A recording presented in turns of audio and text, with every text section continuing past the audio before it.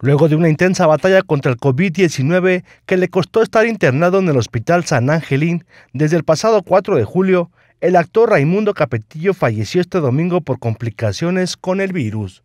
Así lo dio a conocer la Asociación Nacional de Intérpretes Andy por medio de una publicación de Twitter en donde lamenta el fallecimiento del histrión.